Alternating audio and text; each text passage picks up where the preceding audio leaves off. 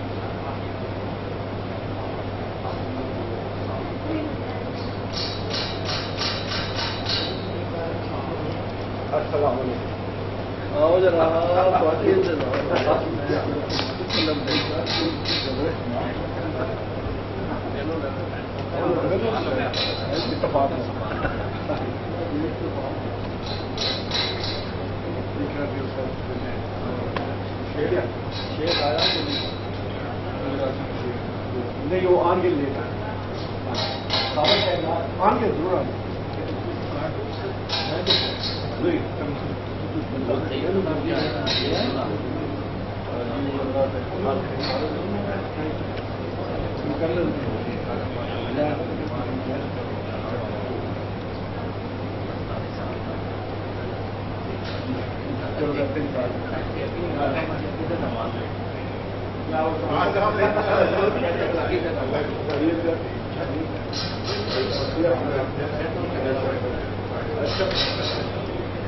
قیمت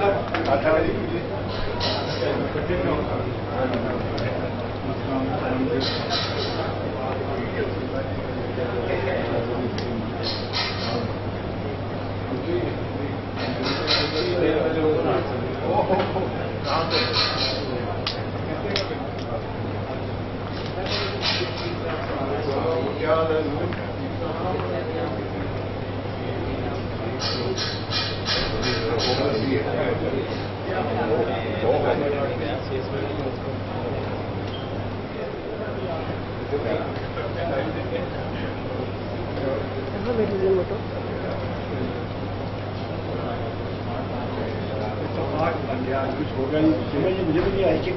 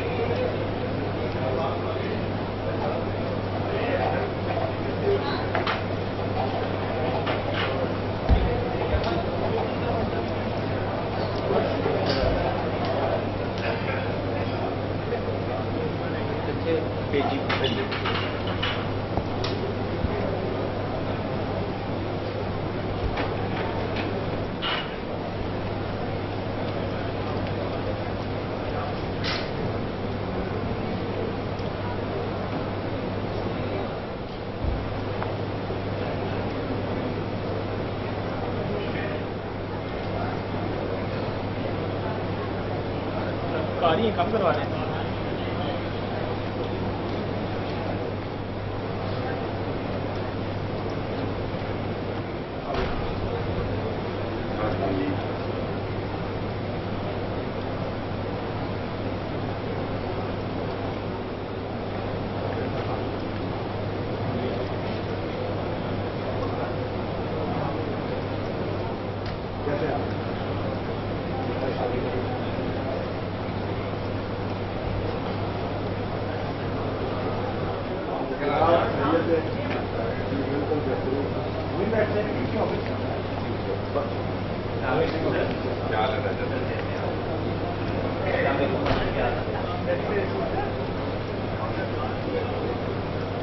بہت اچھا لگ رہا ہے کلر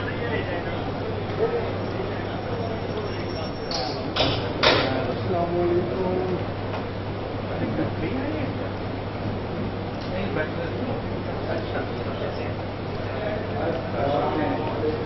السلام علیکم یہ علیہ پاپ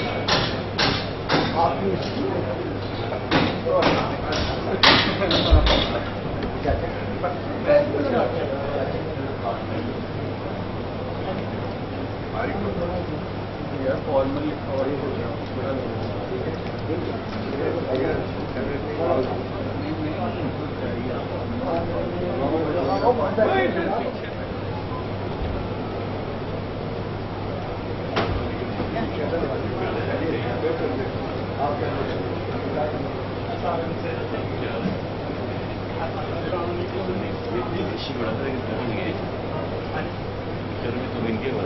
جی جی سر بڑا اچھا لگا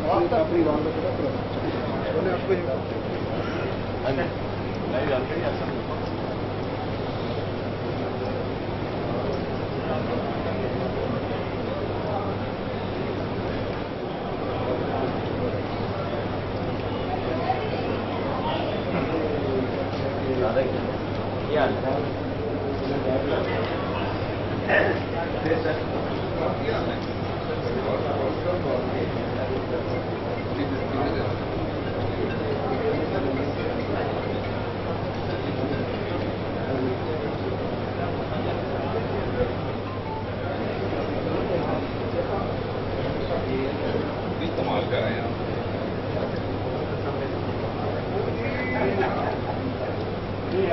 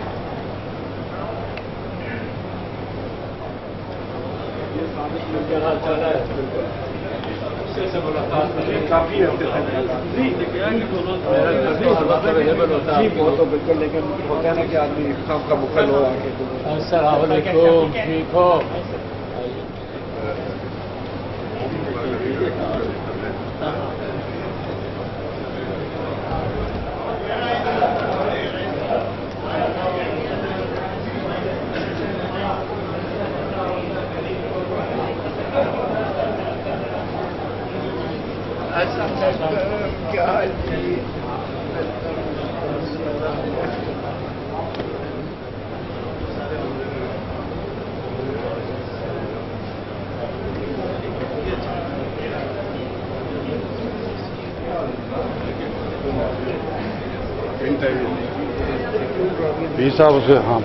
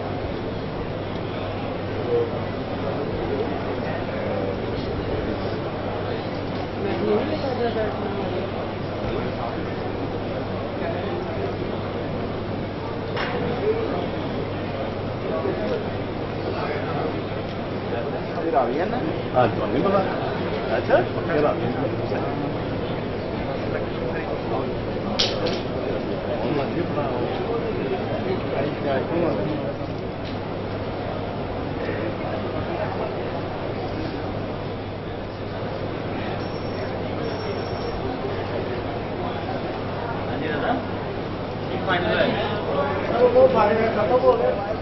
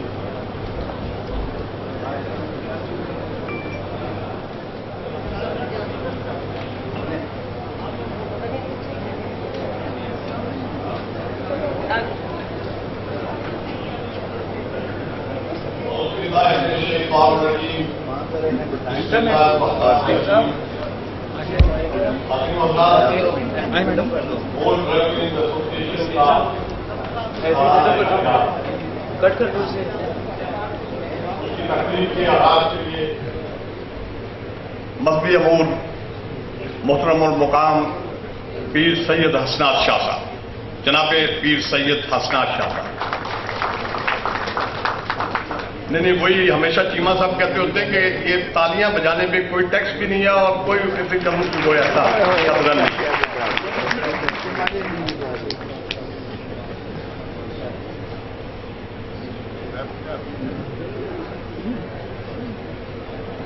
گورنمنٹ کالج لاہور کے سابق بے تاج بادشاہ، سابق vice chancellor doctor Khaliq ur-Rahman جناب ڈاکٹر خلیق الرحمان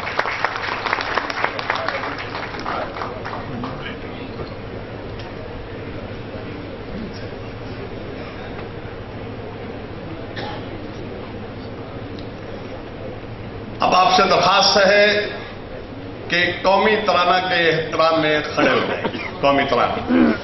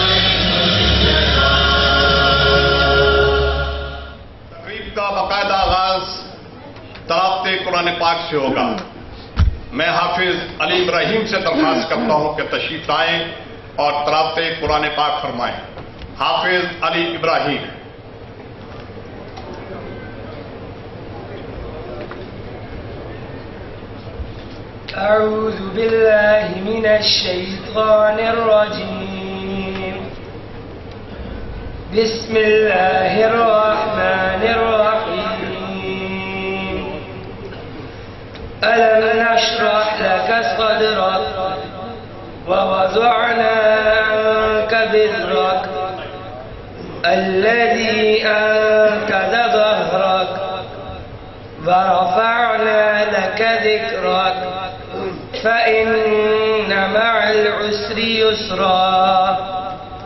إن مع العسر يسرا. فإذا فرغت فانصب وإلى ربك فارغب. صدق الله العظيم.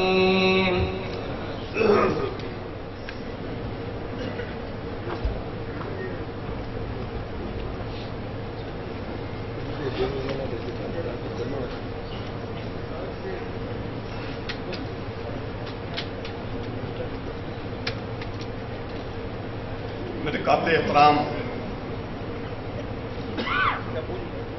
S M Zafar S M Zafar, Maulana Tariq Jameel صاحب، محترم ذوالفقار چیمہ پیر حسنات شاہ صاحب، ڈاکٹر خلیق الرحمان صاحب خاتین حضرات۔ شہر لاہور کے اس خوبصورت ہوٹل کے خوبصورت حال کی چھت تلے۔ اسیران محبت کا جو جو جہاں سجا ہے، یہ اسی سرکوخش سے بنی ہوئی عمارت کا ایجاد ہے جسے ہم گورنمنٹ کالج لاہور کہتے ہیں۔ عظیم رابینس گورنمنٹ کالج لاہور کے پاس اور انہی روایات کا استحکام ہے۔ اور اسی استحکام کے نتیجے کے طور پر رابین جاب در جاب اس اشائیہ میں شرکت کے لیے چلے آتے ہیں۔ آج کا اجتماع میرے نزدیک ایک دل فریب منظر ہے کہ اتنی بڑی تعداد میں مختلف شعبہ زندگی سے تعلق رکھنے والے رابین یہاں تشریف فرما ہیں۔ خاتین و حضرات، برس برس گزر گئے۔ جب اولڈ ریبل ایسوسی کو زندہ کیا گیا، تو اس وقت ایشیا کے عظیم درسگاہ کے اس شہر میں درسگاہ اقبال کے متوالوں کا کوئی تما بپا نہ ہوتا تھا۔ اس وقت چند دوستوں نے اس ننے منے پودے کی آبیاری کا ذمہ لیا اور اللہ کے فضل و کرم سے یہ پودا ایک تانور درخت بن چکا ہے۔ اور میں رب کائنات کا حد مشکور ہوں کہ میں پچھلے تینتیس سال سے بطور جنرل سیکرٹری اس تناور درخت کی آبیاری عبادت سمجھ کر کر رہا ہوں۔ مگر امر واقع یہ ہے کہ تب سے اب تک ایسوسیشن کو اس مقام پر لے کر جانا جان جوکھوں میں ڈالنے کے مترادف تھا۔ جو محفل خدین و حضرات آج یہاں سجی ہے، اس شام کی نسبت سے میں اپنے مادر علمی کے عظیم رابین علامہ محمد اقبال کو خراج تحسین پیش کرتے ہوئے آج کے سشائیہ کو اکیس اپریل کی نسبت سے ان کے نام منسوخ کرتا ہوں۔ علامہ اقبال اس خطہ کے پہلے جلیل قدر رابین ہیں، جنہوں نے برے صغیر کے مسلمانوں کو غلامی سی زنجیروں سے نکال کر جو لاگانہ قومیت کا احساس دلایا۔ انہوں نے ایک الگ وطن کا تصور دیا۔ ہندوؤں اور انگریزوں کی تصادی اور سیاسی حکمرانی میں جکڑے ہوئے مسلمانوں کے لیے ایک الگ خطہ کا تصور دیا۔ اور انہوں نے اپنے خطبہ الہ آباد میں مسلمانوں کے الگ ملک کا پورا نقشہ بھی پیش کیا۔ اور جب حضرت قائد لندن منتقل ہو گئے تو یہ مرشد ہی تھے جنہوں نے حضرت قائد کو واپسی پر آمادہ کیا۔ حضرت قائد اعظم نے واپس آ کر حضرت علامہ اقبال کی مشاورت سے مسلمانوں نے ہند کے لیے الگ وطن کی جدوجہد کا آغاز کیا۔ عظیم رابینس میں سوچ رہا تھا کہ اب کے بعد کوئی نئی بات کروں۔ کچھ نئے الفاظ، کچھ نئی یادیں، کچھ نئے تذکرے کئی سالوں سے میں آپ کا مہماندار ہوں۔ ہر سال وہی تکرار، وہی قصے، وہی کہانیاں میں سوچتا رہا مگر ناکامی ہوئی۔ کہ سب کچھ تو وہی ہے، ویسا ہی جیسے ادر سے تھا۔ کالج بھی وہی، ٹاور بھی وہی لوجیا اور اوول کی دل بنیا اور دلداریاں بھی وہی۔ آخر بدلا کیا ہے؟ جس پر کوئی نئی بات کی جا سکے۔ تینتیس سال پہلے جب ایسوسیشن کی بنیاد رکھی گئی تو کئی مشکلات کا سامنا کرنا پڑا۔ مگر ان تینتیس سالوں کی کہانی سنانے میں کئی برس درکار ہوں گے۔ معاشرے کے تمام طبقوں کی نمائندگی کرتے ہوئے تقریبات منعقد ہم نے کی۔ ادب، شعر و سخ معاشی معاملات، سیاسی معاملات، تفریحی اور دیگر شعبہ زندگی سے متعلق تقریبات کر کے ہم نے ہمیشہ اپنا رول ادا کیا۔ خطین وزاد ہم نے گزشتہ تینتیس سالوں کی تقریبات میں ملک کی مقتدر شخصیات کو چاہے ان کا تعلق اقتدار سے ہو یا حلف اختلاف سے، ادب سے ہو یا سیاست سے، صحافت سے ہو یا کاروبار سے، پیار و محبت سے یہاں آنے کی دعوت دی۔ عظیم رابین کے ہی دور میں کہا جاتا تھا کہ گورنمنٹ کالج لاہور ایسا ادارہ ہے جو بیروکریٹ پیدا کرتا ہے۔ لیکن آج خدا کے فضل و کرم سے رابین اپنی صلاحیتوں کے بل بوتے پر ملک کے بڑے سے بڑے عہدوں پر فائز ہیں۔ کھیل کے میدانوں سے لے کر کھیل کے میدانوں سے لے کر سیاست کے ایوانوں تک، سیاست کے ایوانوں سے لے کر افواج پاکستان تک کوئی بھی ادارہ رابین کی دسترس سے دور نہیں۔ ملک کے سب سے بڑے صوبے کے سربراہ، ملک کے سب سے صوبے کے بڑے، سب سے بڑے صوبے کے سربراہ اور مبت خدا داد پاکستان کے وزیر اعظم کا تعلق بھی گورنمنٹ کا لاہور سے ہے۔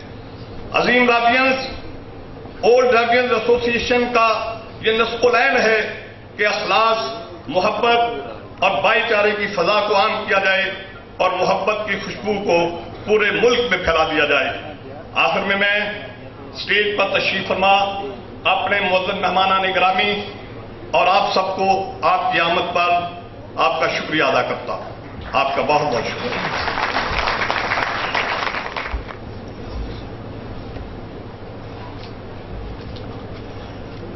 میرے برادر مکرم، پولیس سروس میں تھے تو بہت بڑا نام کمایا۔ جہاں بھی گئے، ایک تاریخ چھوڑ کر آئے۔ صدر پاکستان نے ان کی خدمات کے سلسلے میں انہیں ستارہ امتیاز سے نوازا۔ جناب ذوالفقار چیمہ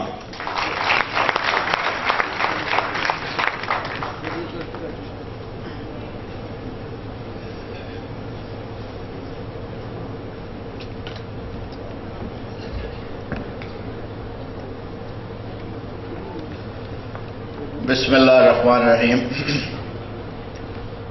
محترم ایس ایم ظفر صاحب،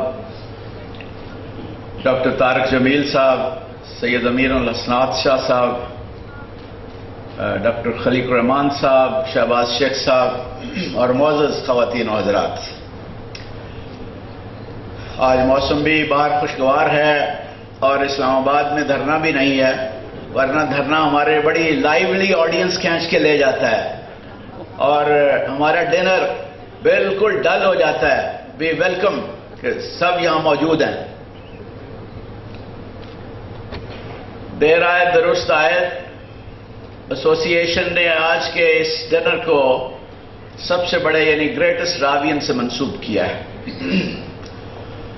ہمارے عالمی دوست جو ہمارے خیر خواہ ہیں، وہ کہتے ہیں کہ پاکستانی قوم کو دو امراض بہت بڑی لاحق ہیں، ایک احساس کمتری اور دوسرا احسان فراموشی۔ پھر وہ کہتے ہیں یہ اتنے احسان فراموش ہیں کہ اپنے اتنے بڑے محسن اقبال کو انہوں نے فراموش کر دیا۔ ہمیں رشک سے دیکھتے ہوئے کہتے ہیں کہ وہ پاکستانیوں آپ کے لیے یہ اعزاز کم ہے کہ دنیا اسلام کا سب سے بڑا شاعر اور فلاسفر اس سرزمین میں پیدا ہوا اور یہاں رہا۔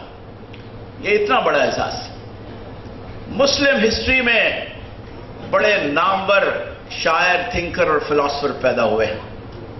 مگر مسلمانوں اور امت مسلمہ کا مقدمہ، جس مؤثر، ولولہ انگیز اور پرشکو انداز میں اقبال نے پیش کیا، کوئی اور نہیں کر سکا اس لیے تمام اس پر متفق ہیں کہ ایک ہزار سال کی اسلامی تاریخ کا سب سے بڑا شاعر اور فلاسفر اقبال ہے اور یہ ہم سب کے لیے بہت بڑے فخر کی بات ہے۔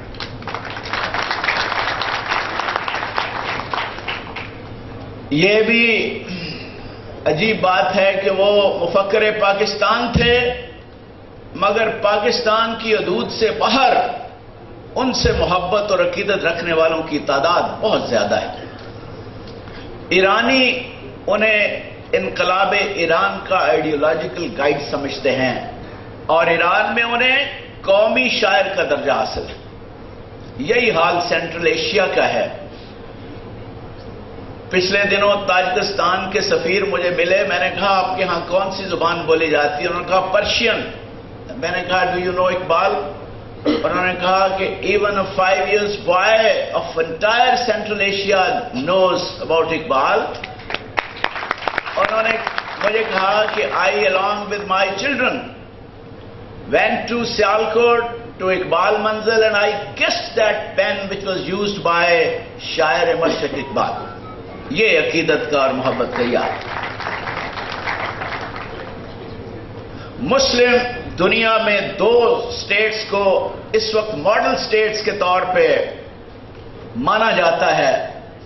ان کی سوشل اور اکنامک ڈیولپمنٹ کی وجہ سے ملائیشیا اینڈ ٹرکی دونوں کے لیڈرز بارہا کہہ چکے ہیں کہ وہ they are inspired from Iqbal doctor Mahathir اور ترکی کے مرد آہن کی کوئی تقریر اقبال کے ذکر کے بغیر مکمل نہیں ہوتی۔ قائد اعظم اقبال کو اپنا روحانی مرشد سمجھتے تھے۔ چالیس کی قرارداد کے بعد پھر مرشد کو یاد کیا اور کہا، آج اقبال ہوتے تو کتنا خوش ہوتے۔ انہوں نے ہمیں جو راستہ دکھایا تھا، ہم اسی پر چل پڑے۔ فیض احمد فیض بہت بڑے شاعر بھی تھے اور بہت بڑے راوین بھی۔ امجد اسلام، امجد نے مجھے سنایا کہ ایک مشاعرے کے بعد کچھ نوجوان آئے، انہوں نے کہا، فیض صاحب، اردو کی شاعری، اردو شاعری میں بیسویں صدی تو آپ کے نام سے یاد کی جائے گی۔ انہوں نے کہا، بھائی چھوڑو، بڑے اچھے، بڑے بھلے مانس، بڑے نوبل جنٹ فیض صاحب۔ انہوں نے کہا، بیسویں صدی بھی، اور اس کے بعد آنے والی صدیاں بھی اقبال کی صدیاں ہیں۔ مختار مسعود، بہت روشن ضمیر بروکریٹ تھے چند دن پہلے، وفات پا گیا، اللہ تعالیٰ انہیں جوار رحمت میں جگہ دیں۔ ان کی کتاب آواز دوست ہمیشہ یاد رکھی جائے گی۔ وہ لکھتے ہیں، اقبال پیغمبروں کے شاعر اور شاعروں کے پیغمبر تھے۔ اور شعور ملت کا نام اقبال ہے۔ اقبال گل و بلبل کے شاعر نہیں تھے۔ وہ پہاڑوں کو لرزا دینے والے شیروں، ہواؤں اور دریاؤں کے رخ بدل دینے والی نظموں اور افلاق کو تسخیر کرنے والے کلام کے خالق تھے۔ اور مسلم، دانشور یہ صحیح کہتے ہیں کہ جہاں بھی دنیا میں، اسلامی دنیا میں جہاں بھی بیداری کی لہر اٹھی اور جس خطے کا رہنما کھڑا ہو کے اس نے آج کے فرونوں اور آج کے سامراج کی آنکھوں میں آنکھیں ڈال کر بات کی، سمجھ لیں وہاں فکر اقبال پہنچ چکا ہے۔ کیا ہے فکر اقبال؟ کوئی اقبال کی نظم، کوئی شعر اور کوئی مصرع اٹھا لیں، لگتا ہے آج کہا گیا ہے۔ اور شبنم کی طرح بالکل تر و تازہ اور ریلیونٹ سو فیصد ریلیونٹ ستیزہ کار رہا ہے ازل سے تا امروز چراغ مستفی سے شرار بولحبی یہ کوئی کنفرنٹیشن نہیں نہیں ہے ازل سے چلی آ رہی. خرد کے پاس، خبر کے سوا کچھ اور نہیں. عقل انفارمیشن ٹیکنالوجی صرف انفارمیشن دے سکتی ہے. خیرت کے پاس، خبر کے سوا کچھ اور نہیں، تیرا علاج نظر کے سوا کچھ اور نہیں. کوئی صاحب نظر ہی تمہیں راستہ دکھائے گا۔ اور افراد کے ہاتھوں میں ہے اقوام کی تقدیر۔ ہر فرد ہے ملت کے مقدر کا ستارہ۔ اور صورت شمشیر ہے، دست قضا میں وہ قوم اب تو یہ شعر ججمنٹس میں کوٹ ہونے لگے۔ کیوں سر؟ شاہ صاحب صورت شمشیر ہے، دست قضا میں وہ قوم کرتی ہے جو ہر زمان اپنے عمل کا حساب۔ اور خود بدلتے نہیں، قرآن کو بدل دیتے ہیں۔ اللہ کے بارے میں خود بدلتے نہیں، قرآن کو بدل دیتے ہیں۔ ہوئے کس درجہ فقیحان حرم بے توفیق؟ اور قوم کیا چیز ہے؟ قوموں کی امامت کیا ہے؟ اس کو کیا سمجھیں یہ بے چارے درخت کے امام؟ آج سے سو سال پہلے جو مسلمانوں کی حالت تھی، اس کا آج بالکل اندازہ نہیں کیا جا سکتا۔ اس وقت کوئی مسلمان قوم نہیں تھی۔ مایوسی نا امیدی بے یقینی، خود فراموشی کے اندھیروں میں بھٹکتا ہوا ایک ہجوم تھا، جس کے نہ منزل، نہ راستہ، نہ راہبر یہ اقبال کا کمال تھا کہ اس نے ایک نیم مردہ ہجوم کو ایک زندہ اور تابندہ قوم میں بدل دیا۔ اور اس کے لیے اقبال نے کیا کیا؟ مختلف ڈوزز دی اقبال نے ان کو اپنی پہچان کرائی، ان کے مقام سے انہیں متعارف کرایا، ان کے اسلاف کی عظمتوں کے نغمے ان کے کانوں میں ڈالے۔ اس سے ان کا احساس سے کم تری کم کیا۔ آرام سے بیٹھ جانا بات کر اور انہیں اقبال نے جھنجھوڑا اور بیدار کیا اور کہا، اپنا آپ پہچانو، کون ہو تم؟ کسی کی تقلید اور کسی کی نقالی تمہارے شایان شان نہیں ہے۔ تم خدا کے آخری پیغام کے وارث اور محافظ ہو۔ یہ تمہارا آخری پیغام ہے اور جانتے ہو تم کس کے وارث ہو، کس کے امین ہو؟ کون تھے تمہارے آبا و اجداد؟ وہ تو وہ لوگ تھے کہ دو نیم ان کی ٹھوکر سے صحرا و دریا، سمٹ کر پہاڑ ان کی حیبت سے رائی، اور زلزلے جن سے شہنشاہوں کے درباروں میں تھے، بجلیوں کے آشیانے جن کی تلواروں میں تھے۔ وہ تھے تمہارے آبا و اجداد؟ تم پیچھے پیچھے پھرتے ہو، نکالی کرتے ہو احساس سے کم تری کا شکار ہو، یہ تمہارے شایان شان نہیں ہے، یہ تمہیں زیب نہیں دیتا۔ خدا لم جزل کا دست قدرت، تو زباں تو ہے، یقین پیدا کرے گا فل کے مغلوب گما تو ہے۔ اور اے مسلمان، تمہارا وہ مقام ہے کہ پرے ہے چرخ نیلی فام سے منزل مسلمان کی۔ ستارے جس کی گردے راہ ہوں، وہ کا تو ہے۔ سبق پھر پڑھ صداقت کا، عدالت کا، شجاعت کا، لیا جائے گا تجھ سے کام دنیا کی امامت کا۔ You have to lead the entire world یہ تمہارا مقام ہے۔ اقبال کی اس پاورفل آواز سے احساس کمتری کی زنجیریں کٹنے لگی۔ نا امیدی اور بے یقینی کے بادل چھٹنے لگے۔ ہجوم قوم میں بدلنے لگا اور قوم کو اپنی منزل نظر آنے لگی۔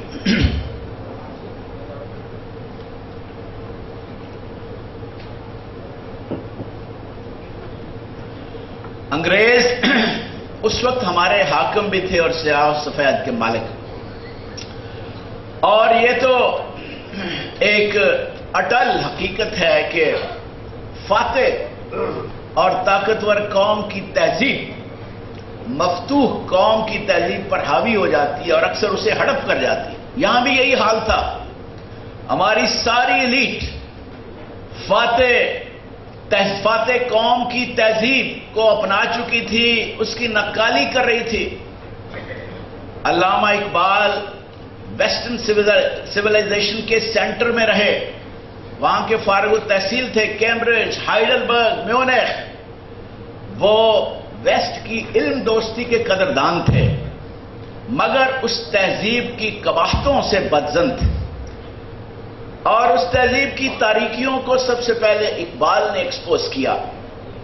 نظر کو خیرہ کرتی ہے چمک تہذیب مغرب کی، یہ سنائی مگر جھوٹے نگوں کی ریزہ کاری ہے۔ اور وہ حکمت ناز تھا جس پر خرد مندان مغرب کو ہوس کے پنجائے خونی میں تیلے کارزاری ہے۔ اور آج اس تہذیب کے جو جلوے نظر آتے ہیں، مسلمان ملکوں میں جو آگ اور خون کے انہوں نے طوفان کھڑے کیے ہوئے ہیں، اور جس طرح لاکھوں بے گناہ بیچارے بچے بے گھر ہو رہے ہیں اور عورتیں ماری جا رہی ہیں، اس سے اقبال کا یہ بیانیاں سو فیصد درست ثابت ہوتے ہیں خواتین و حضرات، علامہ اقبال چونکہ بہت خود بڑے نالجبل تھے، اس لیے وہ سمجھتے تھے کہ علم اور تحقیق سے دوری مسلمانوں کے زوال کی بڑی وجہ ہے۔ وہ سمجھتے تھے علم مسلمانوں کی میراث ہے جس کو، جس کی ہم حفاظت نہیں کر سکے اور یورپ لے اڑا۔ لے گئے تسلیس کے فرزند میراث خلیل۔ خشت بنیاد کلیسا بن گئی خاک حجاز۔ اور تحقیق، خاص طور پہ زوال تحقیق پر اقبال بڑے دل گرفتہ ہوتے تھے۔ بہت کڑتے تھے۔ اور جھنجھوڑ جھنجھوڑ کر مسلمان نوجوانوں، پروفیسروں، ٹیچر سے پوچھا کرتے تھے، کس طرح ہوا کند تیرا نشتر تحقیق؟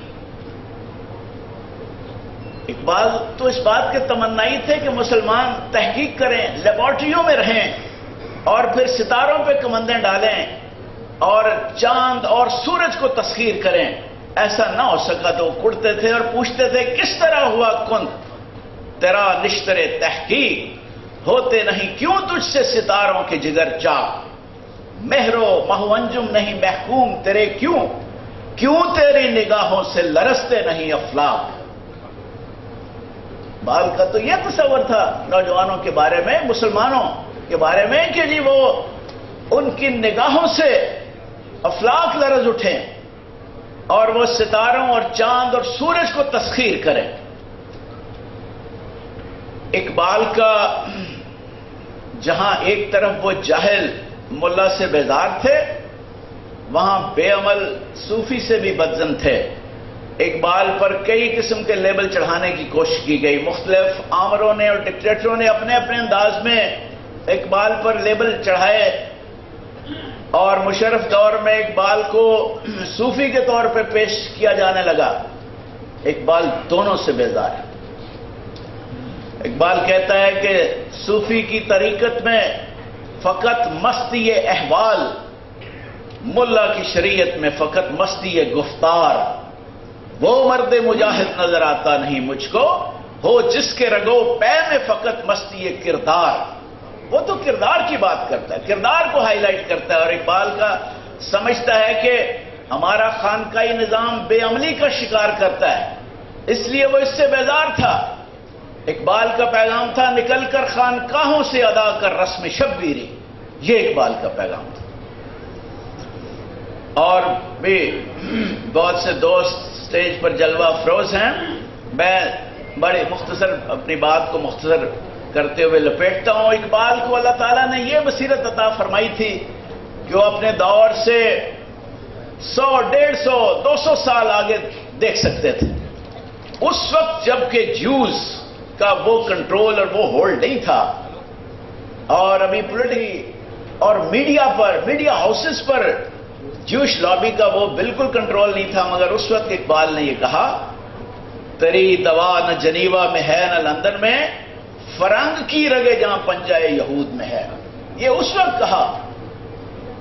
اس وقت بازار فرنگ کی رگے جہاں یہودیوں کے پنجے میں اس وقت نظر نہیں آتی تھی، مگر اقبال چونکہ صاحب بصیرت تھے، دانائے راز تھے، ان کو نظر آئی۔ فرنگ کی رگے جہاں پنجائے یہود میں ہے سنا ہے میں نے غلامی سے امتوں کی نجات، خودی کی پرورش و لذت نمود میں ہے۔ ایک واقعہ آپ کو سناؤں، بہت ہمارے گورنمنٹ کالج کے محبت میں، جس کی چاہت میں سب لوگ یہاں اکٹھے ہوتے ہیں، اس کے ایک بہت پرومیننٹ اور بڑے معروف پرنسپل گزرے ہیں، احمد شاہ پترس بخاری صاحب۔ بہت بڑے اسپیکر تھے۔ انگریزی لسانیات کے بڑے ماہر تھے۔ انہوں نے خود بتایا، اعجاز بٹالوی صاحب کے بھائی عاشق بٹالوی صاحب کو انہوں نے یہ واقعہ خود بتایا اور انہوں نے لکھا کہ میں نیا نیا آیا تھا اور باہر کی یونیورسٹیوں سے پڑھ کے علم کا بڑا خمار تھا۔ تو میں ڈاکٹر اقبال صاحب سے ملنے گیا اور میں نے علم اور فلسفے کا کچھ بے محابہ اظہار کیا، یہ ان کے اپنے الفاظ ہیں۔ جس پر جو بات ڈاکٹر صاحب کو کچھ زیادہ اچھی نہ لگی، تو ڈاکٹر اقبال صاحب نے ایک نظم لکھ کر میری طبیعت صاف کر دی۔ وہ نظم آپ ضرور پڑھیں، آپ میں سے بہت سو نے پڑھی ہوگی، اس کا عنوان ہے ایک فلسفہ زدہ سید زادے کے نام۔ تو اگر اپنی خودی نہ کھوتا زناری برگسا نہ ہوتا۔ بڑی لمبی نظم ہے کہ اگر اپنی خودی سے تم محروم نہ ہوتے، تو برگساں جیسے فلاسفر کے پیچھے پیچھے یا ان کی نکالی نہ کرتے۔ ہیگل کا صدف گہر سے خالی۔ اس بڑی لمبی نظم ہے، اس کا مطلب یہ ہے کہ میرے رگو پے میں فلسفہ ہے، مگر آج انسانیت کو جو چیلنجز درپیش ہیں، یہ فلسفیوں کے پاس اس کا کوئی حل نہیں ہے۔ اس کا حل وہی ہے جو حضرت محمد صلی اللہ علیہ وسلم نے دین اسلام کی صورت میں دیا ہے۔ اور بخاری صاحب کو وہ کہتے ہیں، تو علی مرتضی کی اولاد ہے، تو حضرت محمد کی پیروی کر بو علی سینا کے پیچھے نہ لگ۔ تو بخاری صاحب کہتے ہیں کہ جی میری، ڈاکٹر صاحب نے یہ نظم لکھ کے میری آنکھیں کھول دیں۔ آخری بات میں کروں گا کہ اقبال کے ہاں ہر چیز کا حل بھی موجود ہے۔ لوگ پوچھتے ہیں آج کے مسائل کا۔ تو حکیم علومت اور دانائے راز کہتے ہیں، ستارہ کیا میری تقدیر کی خبر دے گا۔ لوگ ستاروں کے جا کے پوچھتے ہیں، جوتشیوں کے پاس جاتے ہیں، بڑے بڑے اور بڑے بڑے پڑھے لکھے، بڑے بڑے عمرہ تو کسی نے کہا بھی تھا ڈاکٹر صاحب سے کہ جی فلاں بڑا نجومی ہے تو وہ آپ دیکھنا چاہتے ہیں چاہتا ہے تو ڈاکٹر صاحب نے اقبال نے فرمایا، ستارہ کیا میری تقدیر کی خبر دے گا؟ وہ خود فراخی افلاق میں ہے خار و زبوں وہ تو افلاق کے کی وسطوں میں خود ذلیل ہو رہا ہے۔ ستارہ کیا میری تقدیر کی خبر دے گا؟ وہ خود فراخی افلاق میں ہے خار و زبوں علاج آتش رومی کے سوز میں ہے تیرا۔ تری خرد پہ ہے حاوی فرنگیوں کا فسون اور یہ کائنات ابھی ناتمام ہے شاید۔ کیا رہی ہے دمادم صدائے کن فیکون۔ دانائے راز نے دعا کی تھی کہ خدا آرزو میری یہی ہے، میرا نور بصیرت عام کر دے۔ اللہ تعالیٰ سے بھی دعا ہے اور یہاں ہال میں بڑی تعداد میں ایجوکیشنسٹ اور ٹیچرز موجود ہیں۔ ان سے بھی گزارش ہے کہ وہ اقبال کا نور بصیرت عام کرنے میں اپنا رول پلے کریں۔ اور نوجوانوں کے دل و دماغ اقبال کے نور بصیرت سے منور کر دیں، کیونکہ اسی میں ہماری شفا ہے اور اسی میں ہماری بقا ہے۔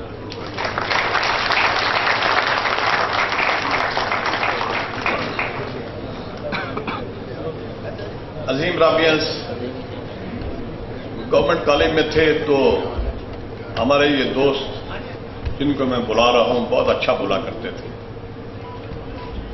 اپنے علاقے کے بھی پیر ہیں گورنمنٹ کالج کے پیر بھی تھے اور ہمارے بھی پیر ہیں۔ جناب پیر حسناز شاہ صاحب۔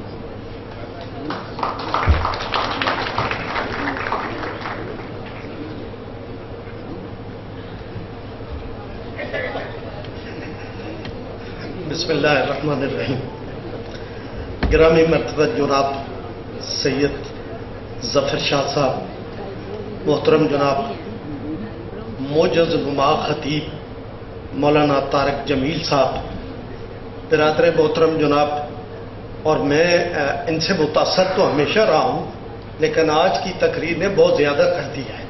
محترم جناب ذوالفقار چیمہ صاحب اور محترم جناب ڈاکٹر خلیل الرحمان صاحب، میرے محترم بھائی جناب قاسم فیروز صاحب، یہ میرے بینکار دوست ہیں اور یہ مجھے اپنی بینکاری کے جال میں پھنساتے رہتے ہیں۔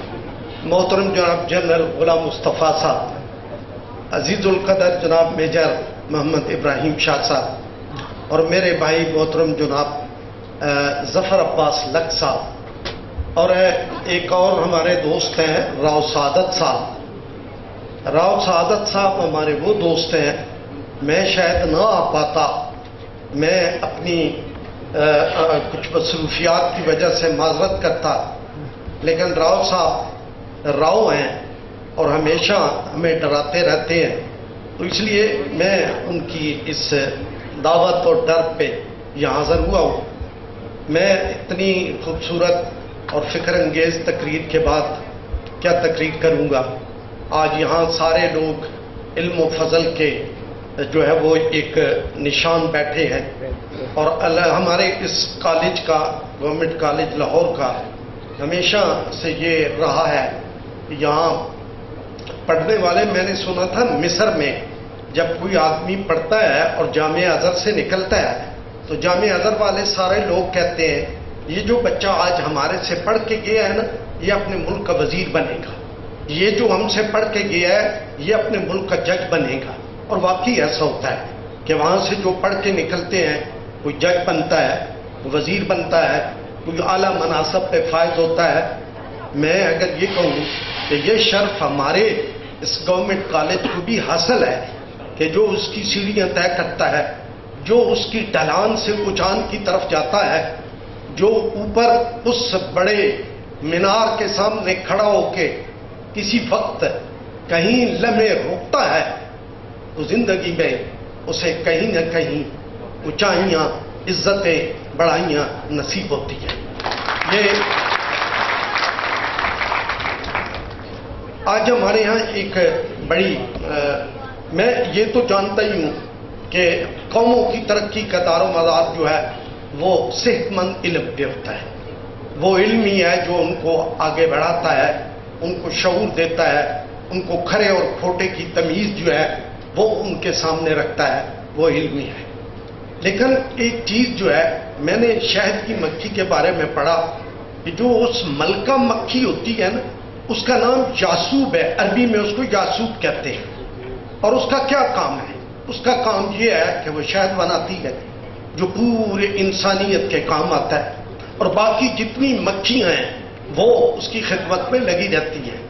لیکن اگر آپ شہد کے چھتے کے نیچے دیکھیں گے تو آپ کو نظر آئے گا کہ کچھ مکھیاں مری پڑی ہوتی ہیں۔ علماء فضلات تحقیق کرنے والے لوگ کہتے ہیں، یہ وہ مکھیاں ہوتی ہیں جو رس اکٹھا کرتے کرتے کسی زہر آلود پھول پہ بیٹھتی ہیں اور وہاں سے وہ رس چوستی ہیں۔ اور وہ یاسوب ملکہ مکھی جب یہ دیکھتی ہے کہ یہ میرے پورے نظام کو برباد کرنے آ گئی ہیں، وہ ان کو مار دیتی ہے۔ وہ ان کو ختم کر دیتی ہے۔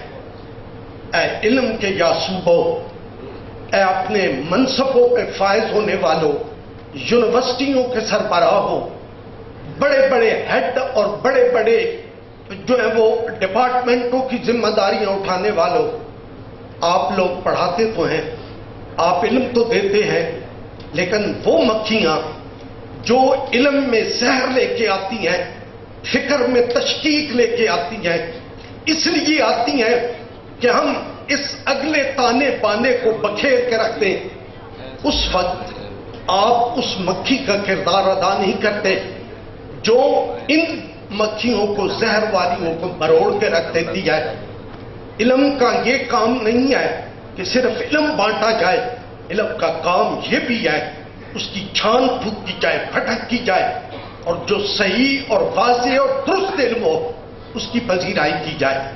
میں آخر میں ایک چھوٹی سی باب اشفاق کی بات میں اکثر دوستوں کو سناتا رہتا ہوں۔ بابا اشفاق کہتے ہیں، میں اپنے شہر سے لاہور گورنمنٹ کالج پڑھنے کے لیے گیا۔ ایف اے کی کلاسوں میں تھا۔ سائنس میرا سبجیکٹ تھا۔ جب سائنس کی گتھیاں کھلنے لگی اور میں دیکھنے لگا کہ کیا کیا نئی باتیں ہیں، میں چھٹیوں میں گھر گیا۔ میری ماں نے مجھ سے کہا کہ بستی میں جو تیرے بڑے بزرگ چاچے ہیں نا، ان کو جا کے ملا ان کو سلام کر کیا وہ گئے، کہتے ہیں، میں سلام کر کے واپس لوٹا۔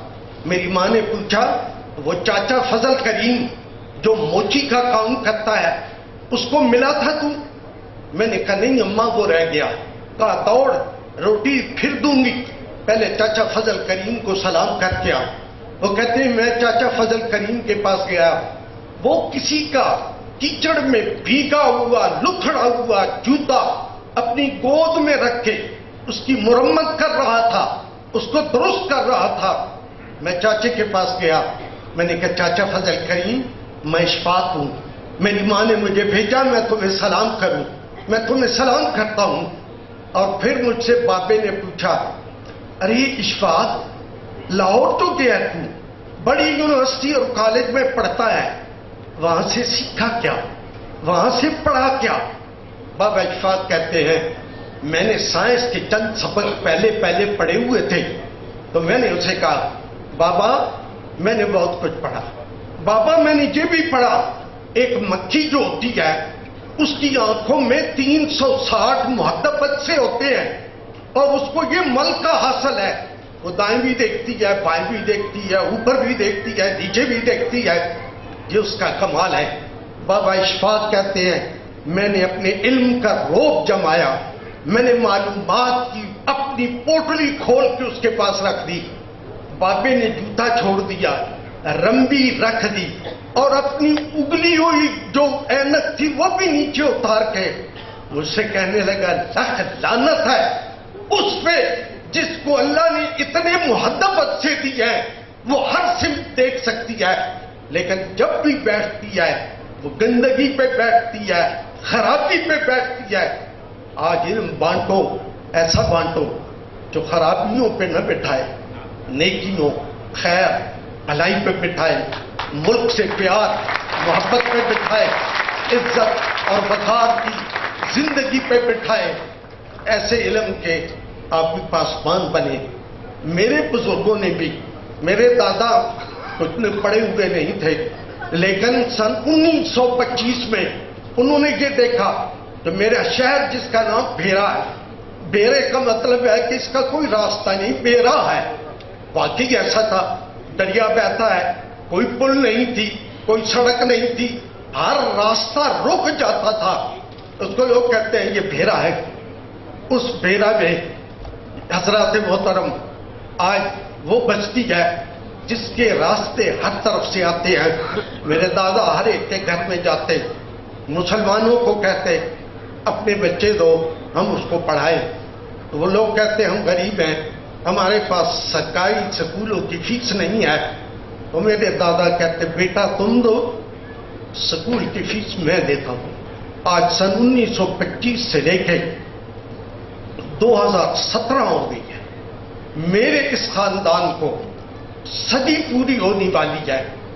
اس علم کی خدمت کرتے ہوئے، خیر کے علم کی خدمت کرتے ہوئے، نفع بخش علم کی خدمت کرتے ہوئے، اور میں اس پہ جتنا ناز کروں وہ کم ہے۔ اور میں یہ کہوں گا، پاکستان زندہ باد، پاکستان پاہندہ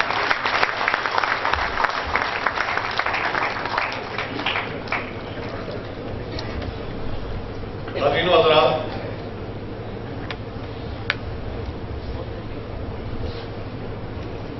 ہم نے آج کا یہ شیا یہ ہمارا چونتیسواں شیا ہے اللہ سے ہر پہلے اشیے سے زیادہ حاضری بھی ہوتی ہے اور میرے محترم لوگ بھی تشریف لاتے ہیں۔ یہ اشیہ کو نے حضرت علامہ کے نام کیا ہے؟ وہ ایک خاتون ہیں۔ تشریف لائیں اور آج کے عشائیہ کی نسبت سے کلام اقبال یا نعت جو بھی کرتے ہیں ان کی مرضی کلام بسم اللہ الرحمن الرحیم. السلام علیکم آپ سب کو. میں اسپیشلی محترم ذوالفقار جیمر صاحب کا اور ان کی تمام منتظم انتظامیہ کا بہت شکریہ ادا کروں گی کہ آج کے اس پروگرام میں خاص طور پہ اقبال کے حوالے سے، جس کو انہوں نے منتخب کیا، مجھے بھی یہاں بلایا اور علامہ صاحب کے کلام کے حوالے سے میں پیش کروں گی۔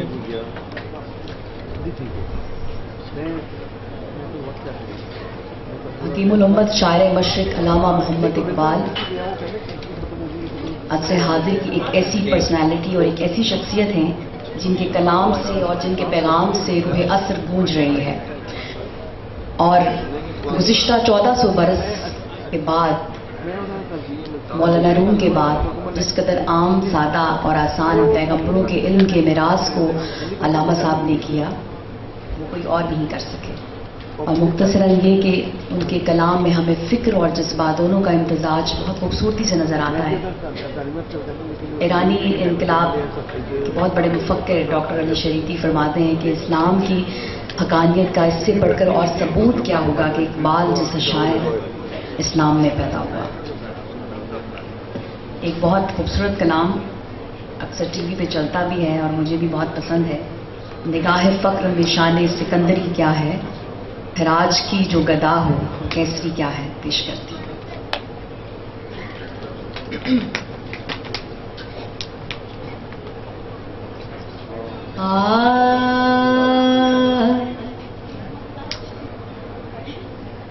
ایک فقر سکھاتا ہے۔ سیاد کو نخچیری۔ ایک فقر سے کلتے ہیں۔ اسرار جہانگیری۔ ایک فقر سے قوموں میں مسکینی و دلگیری ایک فقر سے مٹی میں خاصیت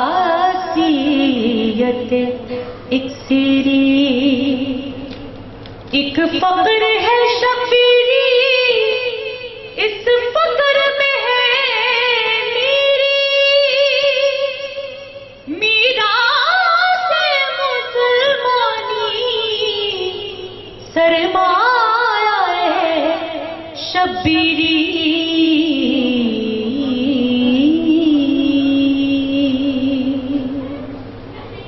نگاہ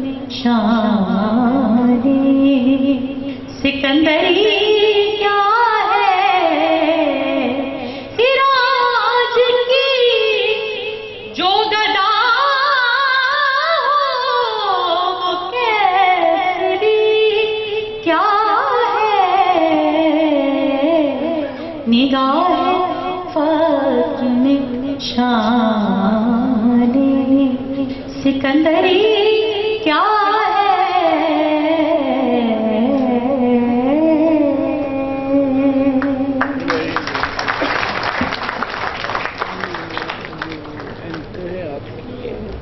عظیم رافیز ایسے تما اور ایسی تقریبات بابا کرنا میرے اکیلے کے بس کریں۔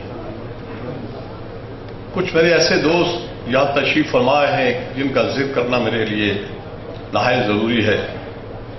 جناب ظفر آباد جعفری، جناب قاسم فروز اور جناب جنرل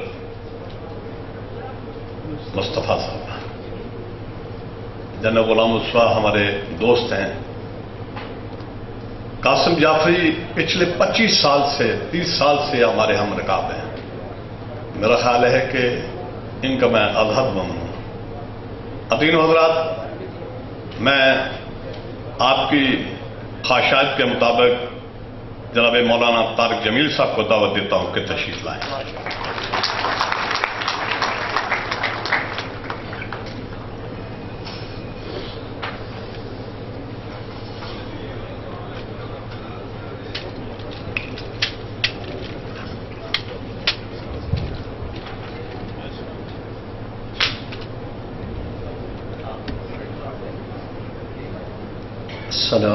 عليكم ورحمة الله وبركاته. جواب سنا نہیں میں نے مہربانی پتا تو چلے کہ بیدار لوگوں میں بات ہو رہی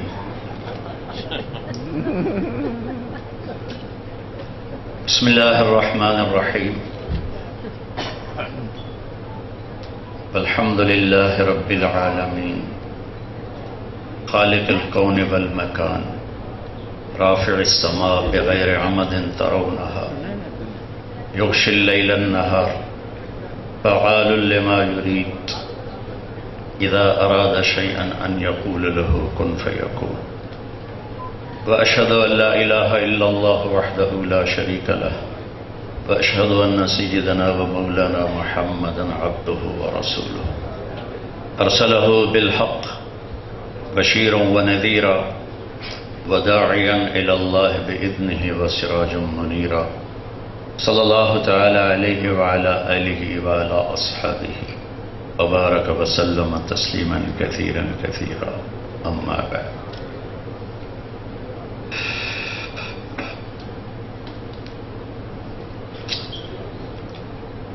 قال النبي صلى الله تبارك وتعالى عليه وسلم أي الإسلام أوثق؟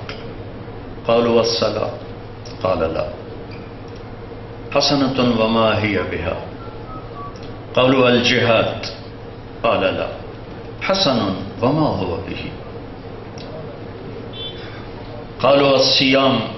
قال وحسن وما هو به؟ قالوا الحج.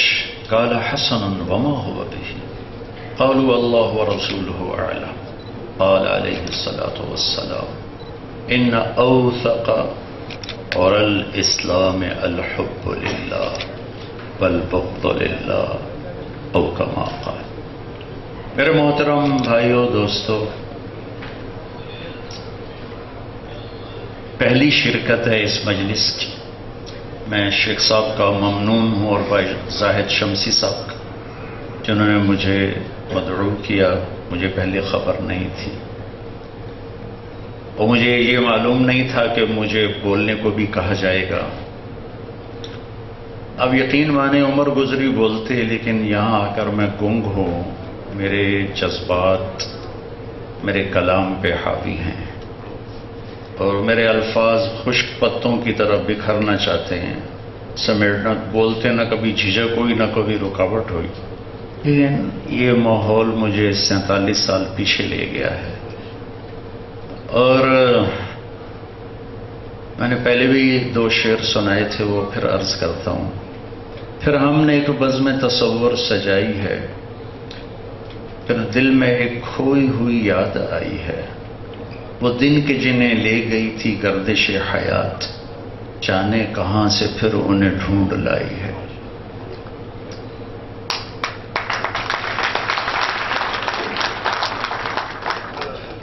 میں اس ہوٹل کا مقروض ہوں، بلکہ ہم تین چار لڑکے اکٹھے ہی مقروض ہیں۔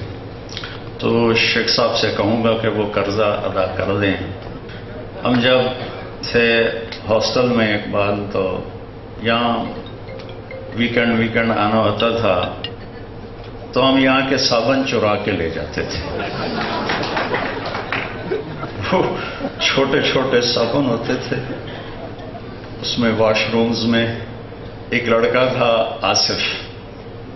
وہ اس کا ماہر تھا، میں پہرے دار ہوتا تھا۔ کہ کوئی وہ انسپیکشن ٹیم نہ آ جائے، کوئی ایسا نہ آ جائے تو موقع پہ پکڑا گیا تھا بندہ۔ بڑا بے عزت ہوتا ہے۔ وہ بھی گورنمنٹ کالج کا نام بدنام اقبال ہاسٹل کا نام۔ تو میں پیرا دیتا تھا، وہ ہاتھ صاف کرتا تھا، پھر آگے جا کے ہم تقسیم کر لیتے تھے وہ چھوٹے چھوٹے۔ تو ایک دن میں کوئی ادھر ادھر ہوا اور میں پہلے خبر نہیں کر سکا تو وہ جیب میں ڈال کے فارغ ہوا تھا کہ وہ اوپر مینیجر آئے۔ اس نے دیکھا صابن غائب ہو، لڑکا کھڑا ہے۔ تو اس نے فوراً پوچھ لیا اچھا اس کی انگلش بڑی اچھی تھی۔ اس نے وہ انگریزی ماری، وہ مصیبت پہ گئی۔ تو وہ بیچارہ آگے مزید تحقیق کیے بغیر ہی چپ کر کے چلا گیا۔ پتا اس کو بھی لگ گیا تھا کہ بیلی لے گیا۔ تو شیخ صاحب یہ قرضہ آج اس میں کھانے کے بل میں اس کو بھی ڈال دیں تاکہ آخرت میں پکڑے نہ جائیں۔ میں اپنے نبی کی چند باتیں آپ کو آپ کی خدمت میں پیش کر دیتا ہوں۔ ایک حدیث میں نے خطبے میں پڑھی۔ آپ نے فرمایا، اسلام کا سب سے مضبوط عمل کیا ہے؟ ایو عرل اسلام اوسط اسلام کا سب سے مضبوط عمل کیا ہے؟ تو صحابہ نے عرض کیا السلام نماز. تو آپ نے فرمایا وہ